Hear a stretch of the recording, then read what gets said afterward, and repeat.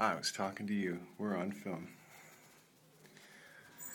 It's my mom, the Reverend Emily Bell. Hi, Mom.